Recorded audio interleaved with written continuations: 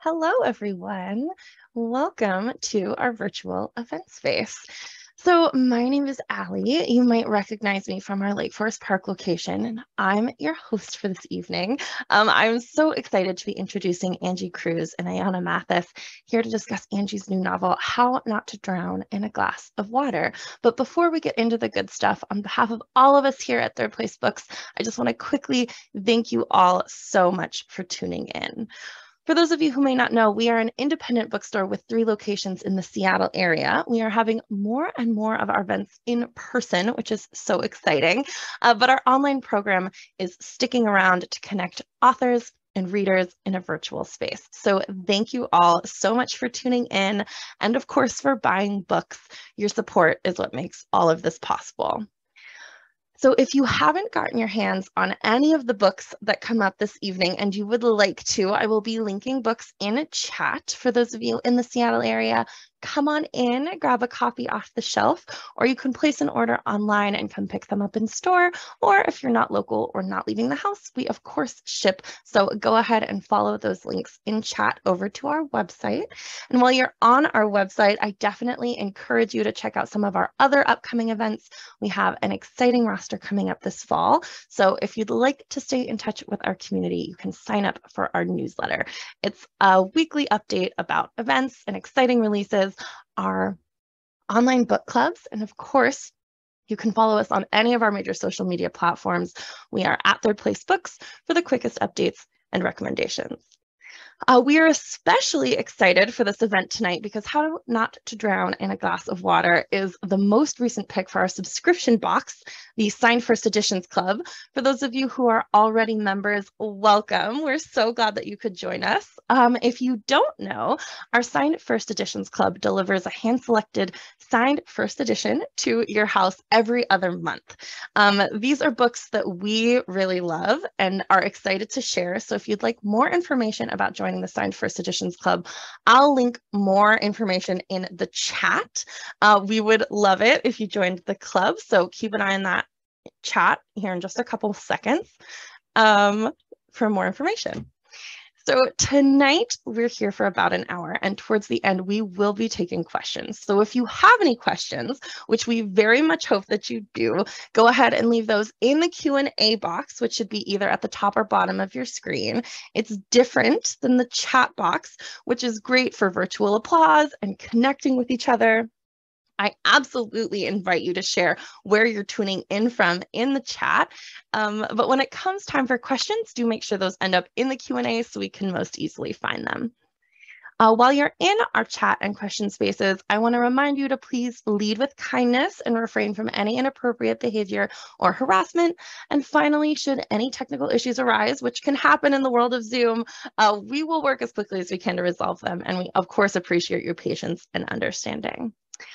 All right, so now it is time for us all to settle in because without further ado, I am so pleased to welcome Angie Cruz, author of How Not to Drown in a Glass of Water, of course, Soledad, uh, Let It Rain Coffee, and Dominicana, which was another third place books favorite and was shortlisted for the Women's Prize and a Good Morning America book club pick. She is founder and editor of chief, in chief of Asterix, a literary and arts journal and is an associate professor in English at the University of Pittsburgh.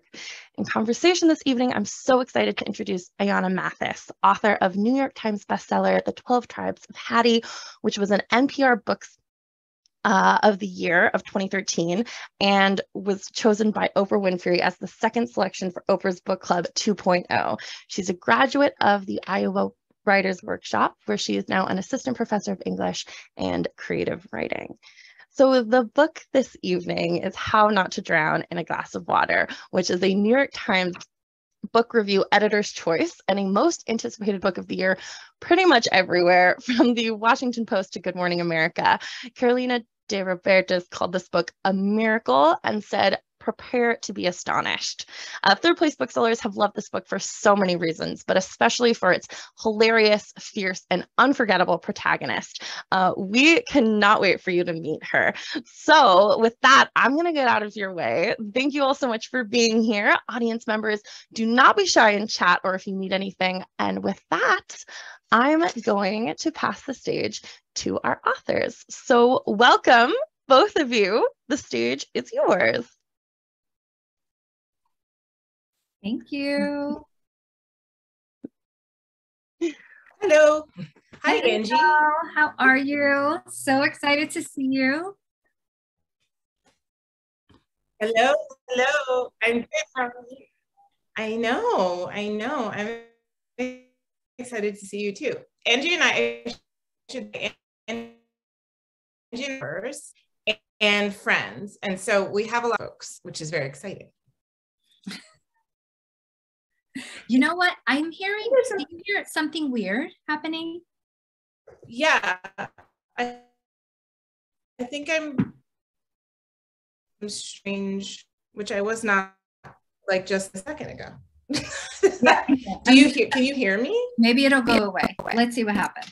I know. Let's hope for the best because it wasn't happening like before we went to our little break. Um, so let's hope the the the spirits of Zoom conversation will be with us.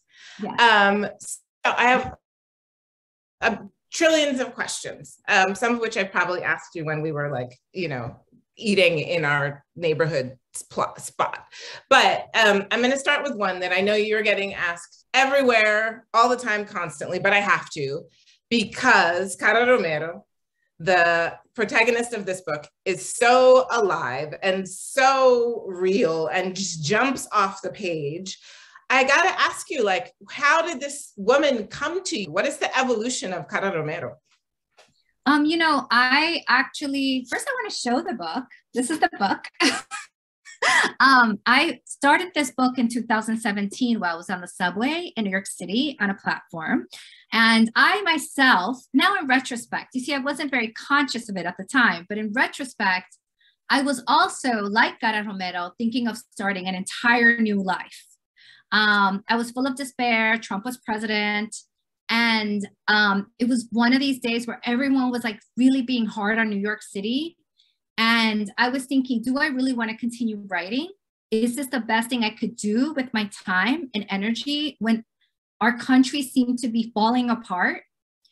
And um, and I saw this woman on the subway, um, like reading some kind of handbook or ESL kind of manual. And I started thinking of all the women in my life who um, were laid off from their jobs during the Great Recession. And they had been working in the same factory um, or offices for like 20, 25 years. And they were asked to start over at the age of 55 when our economy was collapsing. And how hard that would be without knowing the language or with or, or not being familiar with the digital world and and there she came to me like one i said you know i don't know should i be doing this writing business and then i and then cara romero basically started speaking to me she the first line of the book is actually the line i wrote down on my phone that day which was my name is cara romero i came to this country because my husband wanted to kill me She came name and all. She name all the whole thing. exactly like this Okay. and, and then I said, okay, I'm going to listen to what you have to say to me because in that moment, I really did feel lost. Yeah, yeah, yeah, yeah. So, I mean, I guess the other thing is like, so she's so full, she's so rich, she's sort of, it's almost like she sort of was this kind of runaway train, right? And so the wonderful thing about her is that we read the novel and she feels like this entirely sort of organic being. Um, which of course she is in the world of the novel. But I think the thing that's important to say is, right, lest we forget that it takes skill and craft and things like this to actually make this voice that's inside of you and inside of your head and that's speaking to you into something that's legible for the rest of us. Um, Mhm. so I was just wondering if you could talk a little bit about that process of bringing her to life on the page, even after or as she was sort of channeling through you. Well, you know, I think that um, it's true that in some ways, I think of Cara Romero when people talk about the book, they speak about as if Cara Romero wrote the book. Mm-hmm. But I wrote the book. Exactly.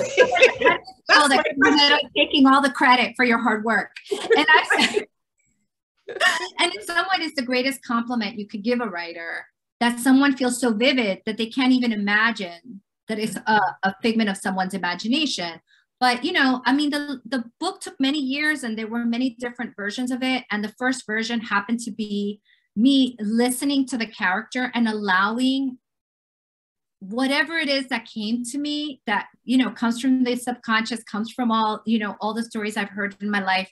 I just wrote everything down. It was like the shittiest draft you can imagine with some really beautiful gems in it. Mm-hmm. then I, I was like wait could i really write a book where someone is just speaking like in a monologue, like that belongs in a play or it belongs in theater. So I wrote other versions of the book where Lulu was telling the story. Mm-hmm. And Cara's pieces were just transcripts. And then I wrote another version where the interviewer was actually really present in the book.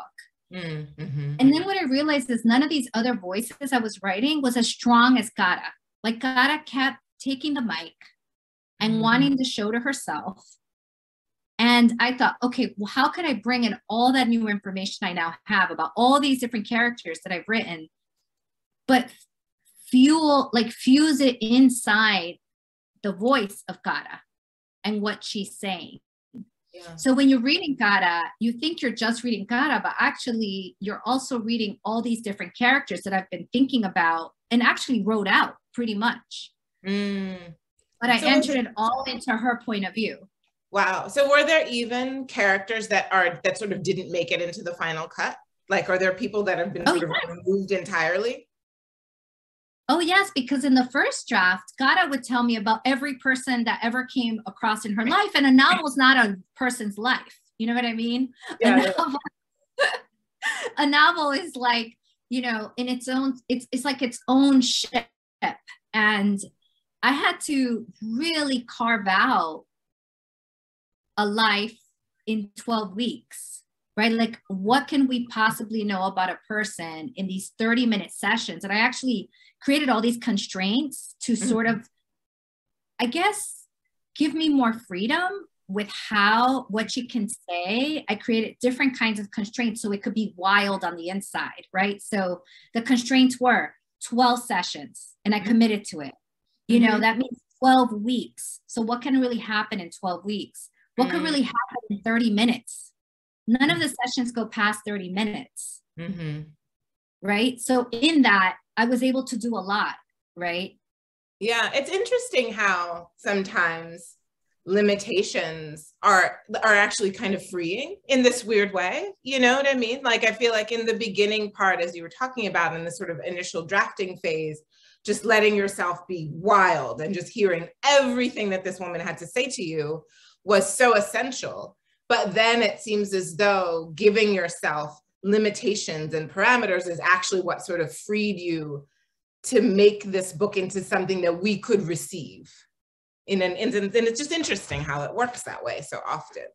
I think in the space of play, you know, I have I'm a mother and I feel like watching my like, you know, when I would have Daniel, my son, on the beach, for example, where there were no borders to the mm-hmm. spaces he can play, the way he interacted, let's say with sand, mm. was very different than when there was a sandbox. Mm. Mm-hmm. Right. And I keep, and I think in some ways, if you think about the novel and form, right, like what it's doing is that it's allowing to take the material of language and to just form it in a different way. It gives you a different kind of um, entry into the material mm-hmm. then you have a constraint, whatever that is, right? Like you could imagine there's a lot of different ways to think of constraint in mm-hmm. form. Mm-hmm.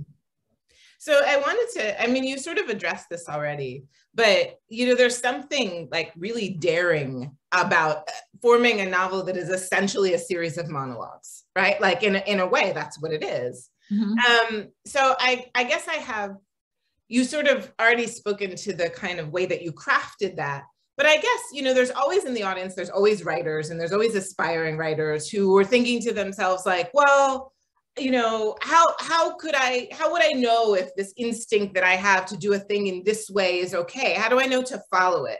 Because, and so I, I wondered if you could talk about that, like that sort of that leaning into or trusting some of your instincts in kind of giving this whole book to this woman in a series of monologues. I mean, it's that, you know, it's pretty unique and it's a choice that many other people may not have made. So I'm just curious about how you came to make it.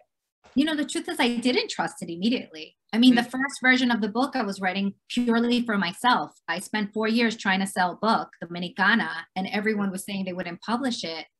And I thought, oh, maybe my books will just be for me. I mean, there's many writers that write many stories that never get published. Yeah. And this particular story with Cara was really like a practice in listening um, to the the character that was coming to me, but also like just really having fun for the first time in a long time. I was actually, you know, I mean, Dominicana, as you know, as wonderful as I, you know, as the process of writing that book, was it wasn't fun it was actually like a book that was incredibly challenging it was connected mm-hmm. to some of my family stories i mm-hmm. felt a lot of pressure because i was going up for tenure and i needed to get it into contract you know and mm-hmm. gabriel garcia marquez is this wonderful thing he says like you want to kill your writing like give it a deadline like you know mm-hmm. put another pressure outside of like that other thing that could happen which is really the joy of of of storytelling and why we tell story. And yeah. I feel like in that, like when you say, oh, how does a writer know to follow their instinct? Like if we're really honest with ourselves, we know what works and we know it even when we tell someone else about what we're writing. Because mm-hmm. as soon as we start talking about our work, we realize where we're lying. Right. Right. You know, we're like, oh God, I'm bullshitting myself. I'm bullshitting you. Like, right, right. you know, like we know it. And we know when someone's lying to us mm-hmm. when they're telling story. That's why when good gossip is good, it's really good because you yeah. know, like they're telling you something and you want to, you know, you want to, you want all the tea, you know, and like I think there's something about that that is really discouraged in the intellectual like a mapping and in schools where they say, oh, forget about embodied intelligence. Mm-hmm. Forget about these things that come easy, like, or mm-hmm. come easy you know like you got to be all brainy about it. But in some ways a lot of that work to me mm-hmm. looks dead on the page. It's super smart. It's clever. Clever. It's really clever but is it alive? You know yeah. cara romero is telling people what to buy at the supermarket these days. Like I, people writing to me saying oh my god i was at the supermarket and i bought jasmine rice because cara romero says it's better and i realized she's a fictional character. And why am I buying rice based on a fictional character? Right. They had sworn with someone who told them that. Right, right. right. And I'm like, hey, like that's pretty cool. it is. It's pretty amazing, right? I mean, it, it, it's incredible. I think, you know, the thing, one of the things I wanted to ask you, and you just kind of segued to it perfectly, was about storytelling.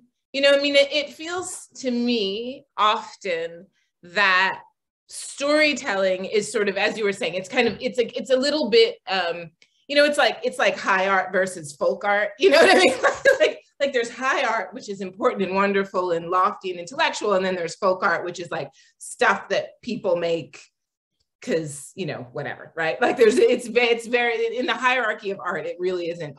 And i and i feel like there's like the, the like the the act of storytelling has gotten a little bit um it's a bit disparaged it's a little bit um and i can't figure out I, and i just wanted to talk about that a little bit i mean you've you've already touched on it but what this this sort of um urge against storytelling in in contemporary literature seems to be about or even if you find that to be the case maybe you don't well you know when i went to the mfa at nyu um, it was a very different time right this was in the 1990s mm. late 1990s. And and I remember workshopping my work and literally in an, a mostly white class, they would read my work, not having had any, you know, real experience reading any Latin American writers or, you know, Caribbean writers. And they would say things like, I don't know if it's good because it's colorful or because it's actually good. Like they couldn't get past the way I use language, the way I was code mm. switching, the way I was telling story, the long sentences, the tangents, the digressions that are really mm-hmm. common in Spanish. And at the time, I was like, okay, well, I'm going to really try to figure out how to tell a story with just one person. What am I going to do with all the people in the room? I don't know, but I'm really going to try. And I was like banging my head against the wall for years, trying to sound like Raymond Carver, maybe. I don't know. Yeah. Yeah. and thinking, oh, this is the only way to be an American writer to some degree. And um, and in reality, like what I think has happened, you know, it, it, it was like, wow, like I didn't realize that I was actually being taught by the greatest storytellers that I've ever met, which are a lot of the women in my family. Mm-hmm. And I discredited it and that for a very long time because it wasn't validated, right? Like it's folk tales or, oh, you know, but actually it's gossip, you know, or whatever, right? Or it's it's it's not, you know, literary or academic, but actually that intelligence Mm-hmm. of how to communicate story so fully embodied. Thank God for Toni Morrison, who talks about this, and all the different Black writers that I've loved, like Gloria Naylor, and you mm-hmm. know, um, I mean Toni Cade Bambara, who mm-hmm. challenged this notion that the American story should be of the individual, you know, full of interiority and lonely, lonely, right, lonely peoples moving in the world, you know, right, right. there's nothing else. Thank God, because I feel like in the end, those were the people I was speaking to. But in academia, I felt incredibly isolated trying to tell the story the way I wanted to.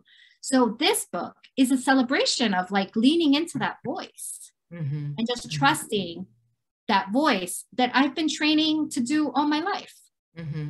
mm-hmm it was like as you were talking, I was thinking too about the, the sort of you know I, I I was thinking mostly about this the kind of the word that came to mind as you were talking was like this kind of maximalist mm-hmm. mode of not of sort of of writing certainly but but of experiencing the world right as a, as opposed to this kind of minimalist one which i think is the one that is prized much more often in contemporary american literature and i was you know, sometimes when I'm teaching, um, you know, I, I will say to my students, you know, the problem often in life is not not enoughness; it's too muchness, and it feels very often like this book felt like a book that was about too muchness, you know, in its like richness and detail and voice, and so it's just it's it's um it's interesting to me that that way that that that um that denigration of what is for most people, frankly, the reality, right? Like most people aren't like, oh, there's nothing. You know, like most people are, have a very different experience of being alive. Um, so I that wasn't really a question, but it was sort of a like a thank you and and and how lovely it is to sort of see that really brought artfully onto the page. And you know what the thing is, and I love to say this to my students as well, is that no, not everyone's going to love your book, right? Like I love, you know, books that are set in India. I'm interested in books set in the Caribbean. They speak, you know, like maximalist writing really speaks to me. Mm. As, as, well as minimalist. I mean, I love a lot of minimal writers and I For read sure. a lot of writing in general, but not everyone is going to feel and get your book. No. That's just the reality. And thank God there's so many books, and thank God there's so many of us. And and the thing is, you just have to write the story you want, and and and just trust deeply that someone is gonna want to receive it, right? In the same ways that you've wanted to receive it. Mm-hmm. Um, and that's also really freeing. Yeah. Not everyone's gonna like it. It's okay. Yeah. Yeah, absolutely. Um, so there's one of the things I was, we we we write very differently, but we have both written books that feature um, mothers who are what's the word? I always use the term the failed mother, um, but but I have to be careful with that term because then people think that I mean that that the mother is sort of a, unworthy or a lesser human being. But really, what I mean is somebody who is really struggling with motherhood, and perhaps the way they love is not being um, recognized or received as love by the object of that love.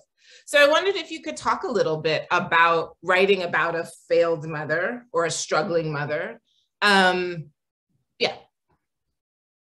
Um, yeah, I mean, this book, mothering is at the center of it. Um, there are many different kinds of mothers in the book, and they're um, butting heads mm-hmm. around how they should be mothering their children. Um, and interestingly, a lot of them are boys, right? So it's also about like how these women are mothering their sons. Mm-hmm. Um, I feel like the idea of failed is is literally also a construction, right? Because what is failure is also part of some kind of agreed definition of what is success, mm-hmm. right?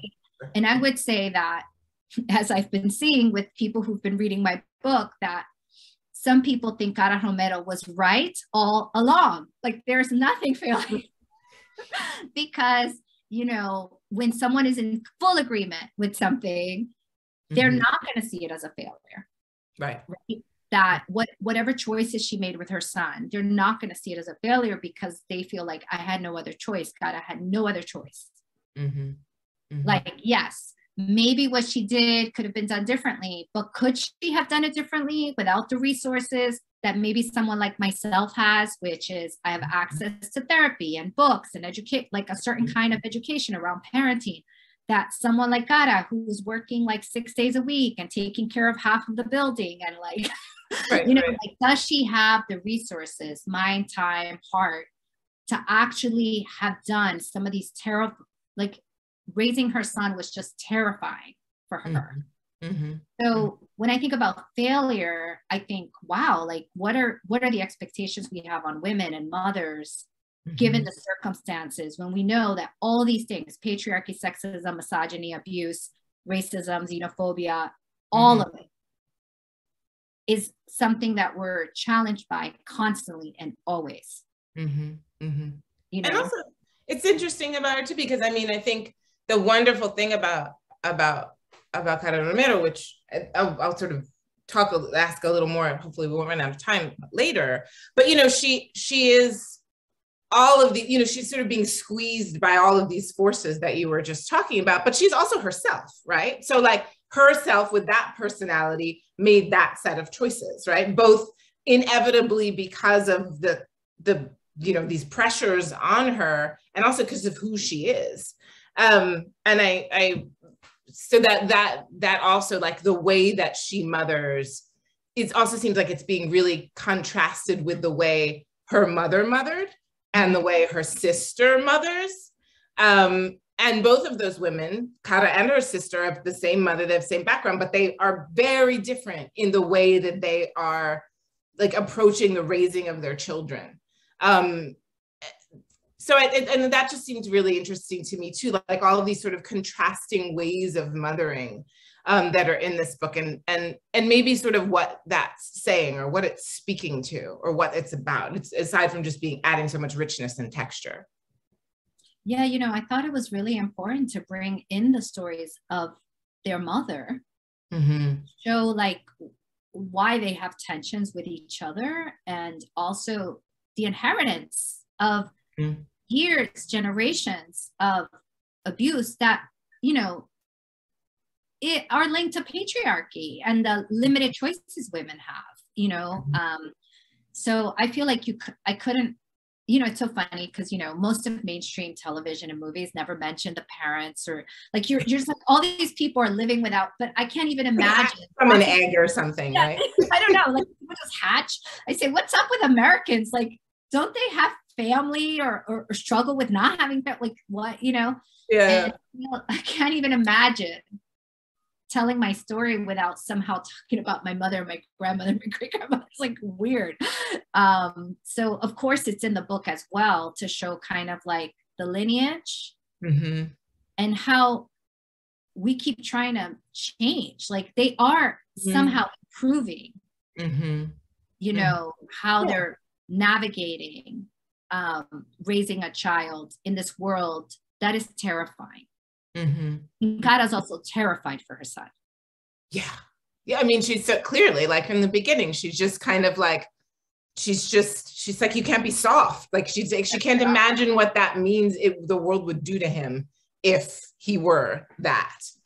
She's afraid of everything. The cops, what the cops will do to him, what the gangs would do with him, like what the world would do with him. like every aspect of the world is terrifying. Mm-hmm. Mm-hmm. Yeah, yeah. I mean, the the one of the things that it sort of made me think about too is like, I mean, there's so much love in the book, you know, and I think it's I think it's one of the reasons that even though you know, Cara's not easy, right? Which is a nice thing, actually, right? Like it's nice to read a character that isn't easy. Um, but I think one of the the sort of the successes of the book is that she's not easy, but she's fully she's fully human, and she's sort of being handled with love, but love interpreted perhaps not as like, oh, well, we just you know let you off the hook for everything, but like a, a gaze that is like honest and probing and wants to see her. Um, and she's sort of handled so beautifully in that way. And I was thinking too about how much of the book is about is about people's um, about people taking care of one another. Um, and about and about both that sort of working in, in ways that it helps form community and also in ways that it, it doesn't work right? Like that the, the this care extended that the other person doesn't recognize as care or refuses. So there's a lot of this going on and sometimes this which i thought was really interesting. And i just don't, i don't know if you have any thoughts about that or I mean, I think about it a lot. I think about like the the conflict between trying to um, live in a world that validates the individual and sort of also blames the individual. Every mm-hmm. failure is blamed on the individual, and every success is is is validated and kind of like celebrated of the individual. Versus thinking about the we, right? Like, what does it mean when your success is actually a community success or family success? Um, or a failure is everyone takes does a little bit of lifting in that failure. And mm-hmm. i feel like when i bring in all these characters and show how they're super interdependent like mm-hmm. the truth is that her sister angela without her sister without Cara's help could never have bought a house even yeah. dream of buying a house. Like she needed the free child care she needed Kara to step in as like the auntie. Um, she needed the support. Um, and it's really complicated right? Because in the end, this support that Cara is doing for her sister will also be something that estranges them from each other. Yeah. Because the sister wants to move away. And yeah, I yeah. wanted to show like just how complex that is. You know, as, as someone who, when I went to college, I remember that as soon as I let, went away to college, like I created this huge canyon between me and my mother. Mm. Suddenly I became the educated one, or like one who would come back with all these big ideas and try to mm-hmm. cancel my whole family, you know, for saying the wrong thing constantly. And right. that was so right. not generous. And I guess in some ways, like this book is about when you say love, it's like handling handling people with generosity. Mm-hmm. Because I feel like there I go, I read these books, I, I, I feel awoke, and then I come back and I look at everyone like they don't know what they're talking about but mm-hmm. it's actually not true mm-hmm. it's just that i went in a i went on a journey where i learned very differently mm-hmm. and they haven't had that opportunity right mm-hmm. i guess like what i'm asking with this book is take this journey and get to know this person not only for like the first thing they say but from everything they do right mm-hmm. like we are more than what we say we're also our mm-hmm. actions that's why i love what bell hooks said love is a verb you know like Mm-hmm. Sometimes you don't say I love you, but you show love in different ways, right? You cook a meal, you you know, you go with someone to a doctor, you you're kind. Mm-hmm. Mm-hmm. Yeah, yeah. I mean, it, it's it's wonderful. Like as you were saying this, and I, I, was thinking about how much it's just very interesting. This isn't a question; it's more of a, just an observation um, and a real sort of testament to the sort of feat of the book, which is that this entire book is a woman talking, but actually it is really about what she does and what she doesn't do and what everyone does and doesn't do. You know, I mean, she has false narratives about herself. She has true narratives about herself. She has, you know, um, and so it's it's really lovely. And I, I I guess this brings me back to in thinking about writing like such a, a, a book again that's just monologues in a way how you managed to help us to sort of see around Cara when she's like talking shit to see around her when she is actually for her own safety and survival has held on to a false idea about herself.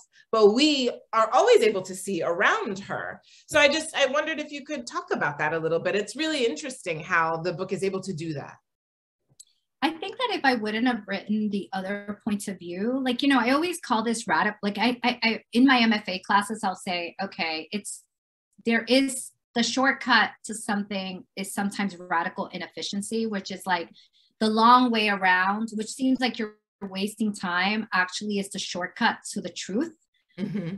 Mm-hmm. to the that you need to make something work.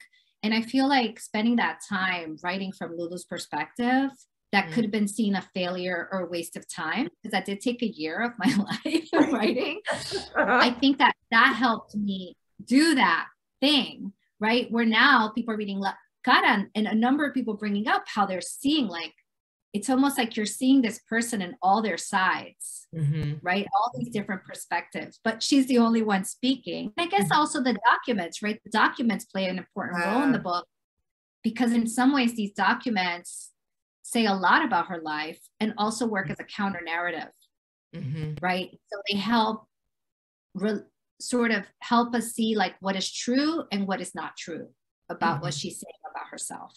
Mm-hmm. mm-hmm. Thank you. I'm glad you brought that up because I was going to ask about the documents and I was thinking about the ways in which she'll be like, oh, I'm just a tiny, tiny bit behind on the rent. But then actually, as we discover, she's a lot behind, you know, I mean, that's one example, but there are all these ways in which those documents, yeah, create this kind of counter narrative. Was that, how did that kind of come into the process using documentation like that? Um, you know, I I feel like I'm always um, wrestling with documents myself. And as a person that was helping, you know, families, like my family um, translate and work through their, their documents, like we would go to the doctors and filling out forms, and they would just give me the form, and I would be filling out the forms or, you know, going through the computer and answering these security questions and like mm-hmm. unable to answer any of these questions. And I was like, well, what was the name of your your maiden name? I don't know. And then like you had to like, no, we're not never gonna remember that one. Okay, what is yeah, right. it? like what? What's the phone number, your childhood phone number? They were like, we would go to the store. Like, you know, we yeah, wouldn't have no, we didn't have that. yeah. So I think like since this has been a reality in my life for so long, like, mm-hmm. and knowing how important documents are as a way to keep us in and also keep us out mm-hmm. of certain spaces, um, and also the kind of security certain documents mm. make people feel, I was like, okay, let me play with this. Let me have some fun with this. And then once I started, I just couldn't stop. I was like, oh my God, like the lease, the, you know, just couldn't. And then I, and then I also, I, you know, I was evicted from an apartment in New York City, mm. um, mm. like 10 years ago. Mm. And I remember that experience was a lot because I didn't know my rights. Mm. And in mm. some ways, the way I tried to write, the way I wrote the documents was to explain to people that are reading the book their rights. So yeah. if you're reading it, you also understand that there are ways that you can keep your apartment. Mm-hmm. Because mm-hmm. I didn't have that cultural capital to understand that I could have kept that apartment. Right. And in some ways, I'm like, what? Why is this culture so invested in kicking us out? Mm-hmm they don't want us to have access to that information. So the documents are also working subversively to get mm-hmm. to educate people and to help them see. Like it's almost like sharing resources from bad experiences. Yeah, yeah. I was thinking, I mean, there's all these really like like we're just talking about, right? Like sharing resources from bad experiences, and that we know that Cara at one point is almost gonna get evicted. And there's all there's a lot of um, intense, really difficult things that are happening to her and have already happened to her, you know, sort of before we meet her in her sessions. But there's some, there's such a, um, like a light touch here, you know? Um, and so I, I was, and in part of that, I guess, obviously, is being achieved by Cara's voice, you know, but also it's just funny. It's a funny book. Um, and it's sometimes it's funny about things that are so dark. And I wanted to ask you, I think we still have enough time, like one minute to do it. I wanted to ask you to read very briefly. There's a little section on page 69 in which something very dark is being talked about, but in a really wonderful way. And I, I and maybe that's a good place for us to end before we get to questions. Okay. Okay. I'm gonna read a little bit from my book. Okay. Um, all right. Her son Adonis is in trouble but not a little trouble, big trouble. Adonis lost his apartment. Her son, the big professional that was making four, five times what we made in the factory, lost his apartment in Brooklyn with a view of Manhattan. Tell me you, didn't he see those people in the news that lost their houses and are camping in the highway? What was he thinking? He bought his apartment, all of it, with a loan. Even his down payment was a loan. The banks call it a balloon, and it popped the party is finished for Adonis. and there we have the subprime mortgage process crisis, according to Cara Romero, um, which I think is so wonderful. And I, I guess it's a this is we're, we're going to open it up to questions. Um, but I wondered if you we might end on this sort of light touch with the darkness here and the humor um, and if you could talk about that very briefly before we transition to letting other people in.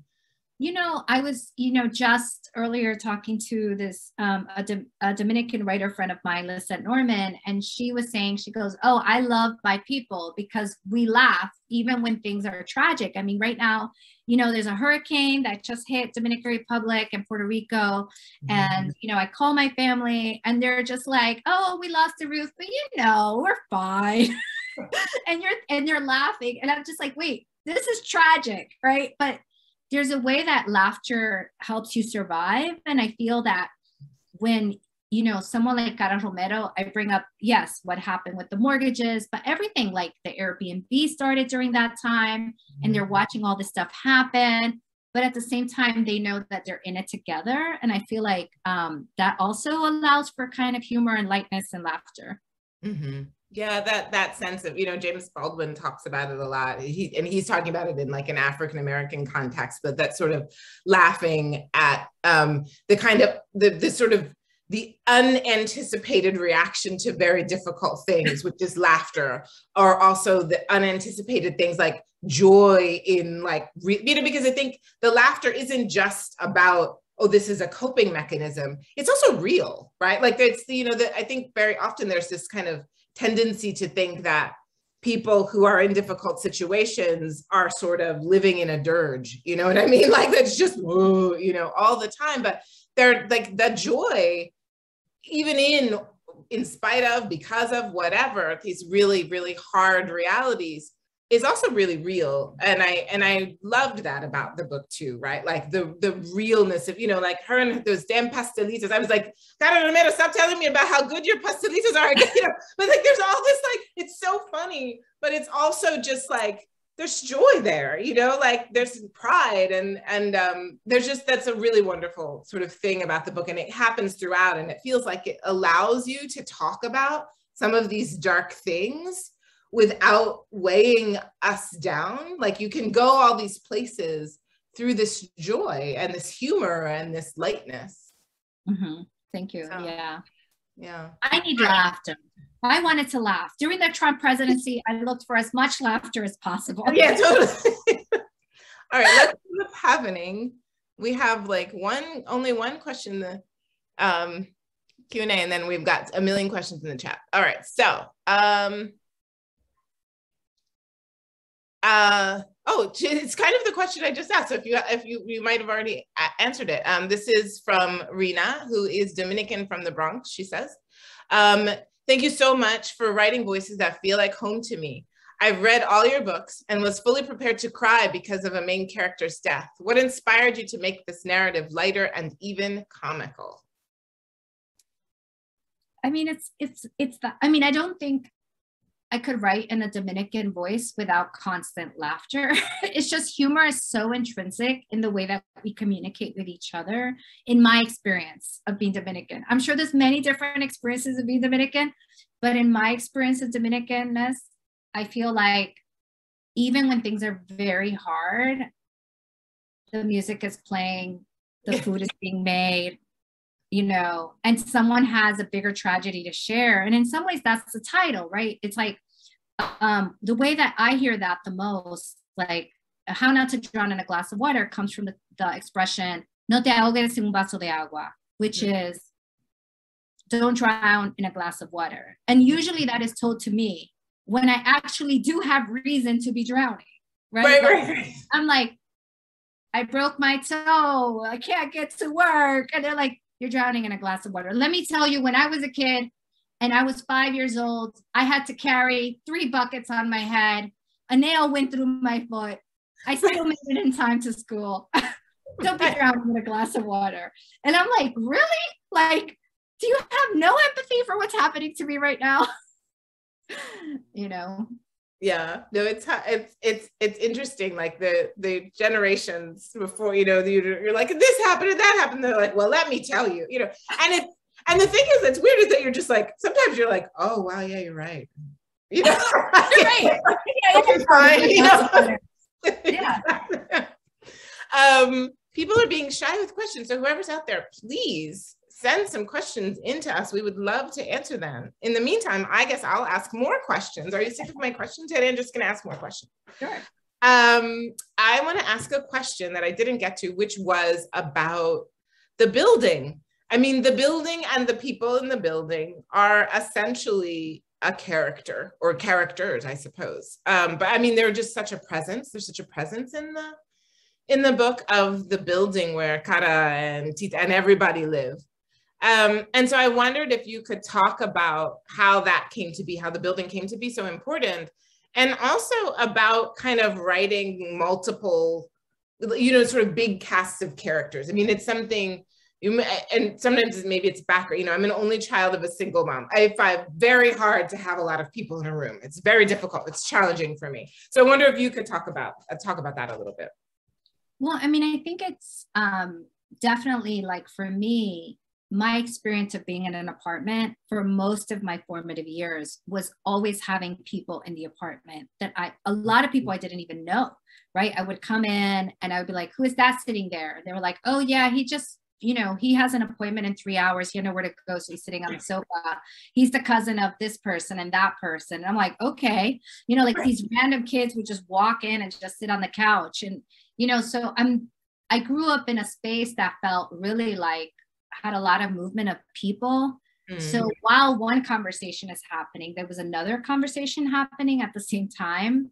Mm. Um, and I, it is really challenging, I want to say, to mm-hmm. write those narratives with multi big casts. But, you know, at the same time, I do think that I've learned a lot. And, you know, they call them the Catholic writers like Flannery O'Connor, you know, mm-hmm. like she was like, I'm a Catholic writer. And, and I was like, oh, yeah, this is why I love Flannery O'Connor stories because there is a way. And I always thought about how your spiritual formation mm. impacts your aesthetics. For sure. Deeply. Because the minimalism also is connected with the ways that we we pray or we or we learned how to be in worship right mm-hmm. and the catholics really are maximalists mm-hmm. So, in some ways, I feel that way that I saw the world, senses and everything totally informs the work. So, the building to me is very mm-hmm. much like writing about the building is actually showing how interconnected this community is, but also it embodies that maximalist um, aesthetic culture that I'm interested in. Yeah. I mean, and, and, and just even on a technical level, it's just there's a lot, you know, there's a lot of choreography when there's a lot of bodies and voices to move around in the world of the fiction. So it's um, and I think it's something that's really challenging for for lots of people. Um, do you this sort of weird question, and hopefully won't put you on the spot, but are there um, you just mentioned Flannery O'Connor, have there been sort of writers that have been teachers for you in that way and sort of looking at like, okay, what do, how do I manipulate all of these voices in this kind of maximalist canvas that I have here? Like, have there been sort of go-tos for you that have kind of helped you to do that or how helped you think about it? Definitely Toni Morrison, Song of Solomon, um, Kira, um, Anita Desai. I don't know if you've ever read her, but she has like big, uh, big families, big characters, uh, lots of characters. Um, but you know, the the it's a different, you know, every book has its own challenges, right? So I think when you have a big cast for those who are writers, like I literally, um, when I was revising, I would have like mini outlines of each character mm. and make sure that they were weaving in through the book, right? Because what could happen is that you lose a character completely. You know, like you could be writing this, like, oh, what happened to that character? And you set that up. So now you have to bring it back, right? right. So it's literally like a braiding mm-hmm. that I would do. And sometimes I worked on them separately and then I would weave them together. mm-hmm. um, yeah. That's I think we have I think we have more questions. We do, we do. We got some. So we have now um, this is um, Marie Pascal, and she has said, How do you manage the two cultures? That is, talking about Dominican culture in the English language. How do I manage two cultures talking about Dominican culture in the English language? I mean, I feel like because I grew up in a in Washington Heights, which was predominantly Dominican, and I traveled back and forth to Santo Domingo um, for the first 17 years of my life. And the same cast of characters in my life were constantly traveling back and forth. I always say that I lived in two countries, one kitchen. Mm-hmm. So you would be in the kitchen and you would forget, are you in New York or are you in Dominican Republic? Right, right. right. in some ways, like, even though I'm writing about a culture that you know that i wasn't born into i feel like i lived the dominican experience very deeply because i was constantly moving back and forth. Mm-hmm. so um, and i feel that informs the work. Yeah. Mm-hmm. Mm-hmm. Um, amaris castillo says hi angie. I love your book. Thank you for writing it. May i ask where you got the idea of alicia the psychic um, you know initially first of all, I knew that I needed to bring in, you know, the ways that horoscopes and how it impacts the lotto and dreams, the everyday lives of so many people in my life. Mm-hmm. Um, like one of the first questions I would be asked when I woke up was like, what did you dream? Right. Mm-hmm. And then I would tell my dream, and then someone would say, Oh, I'm going to play that number. Right. Mm-hmm so I thought, how do I put this in the book for it to make sense? Um, but then I also wanted to incorporate this, like the novelty of the internet for mm.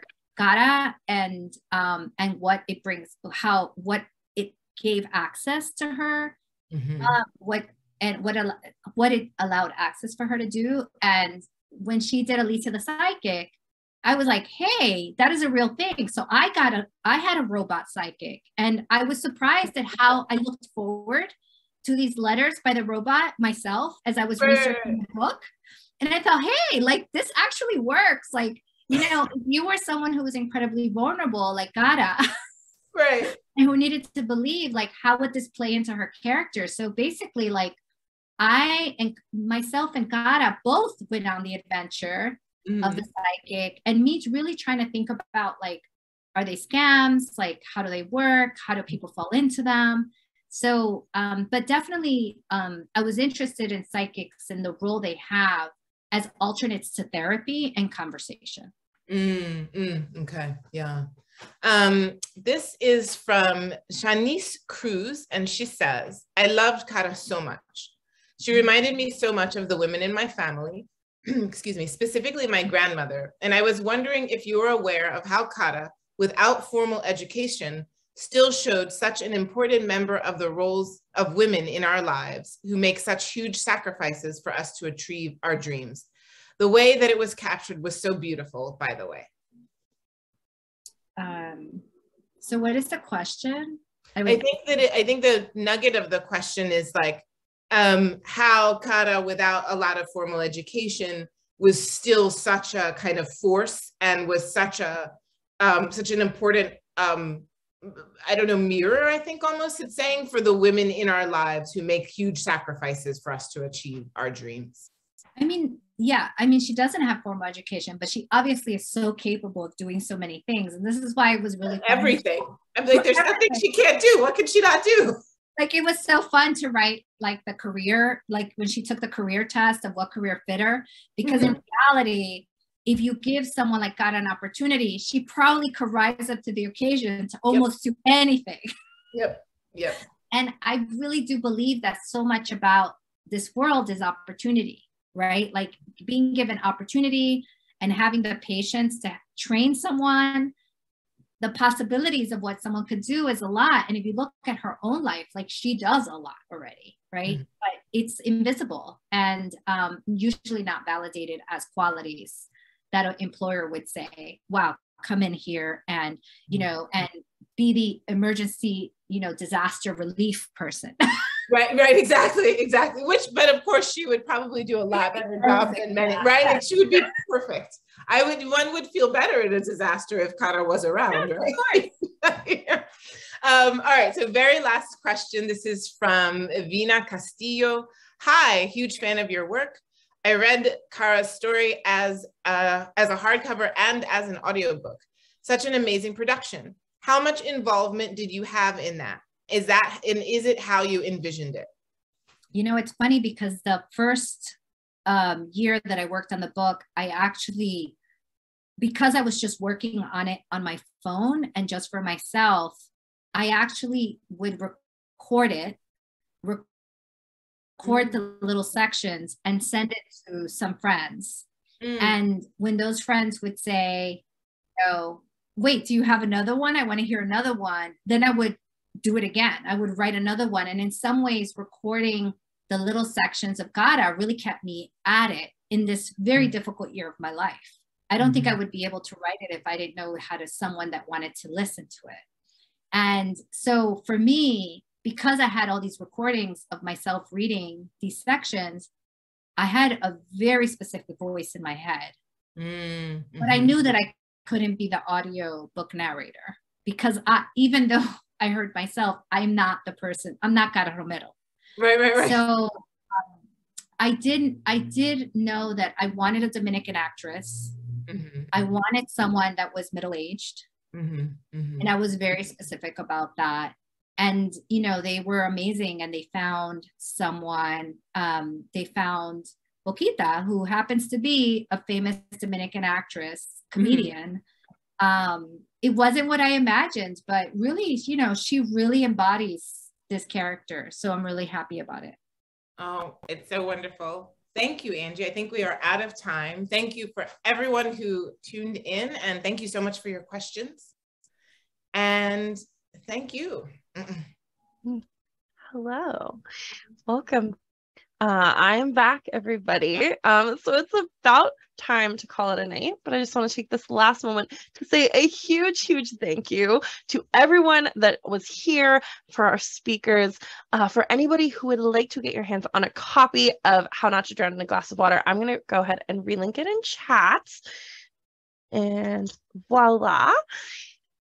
Um, let us know what you thought of tonight's event, either in person or on any of our social media. We always, always, always love to hear from you. Angie and Ayana, huge, huge thank you for being here. This conversation was so wonderful to listen in on.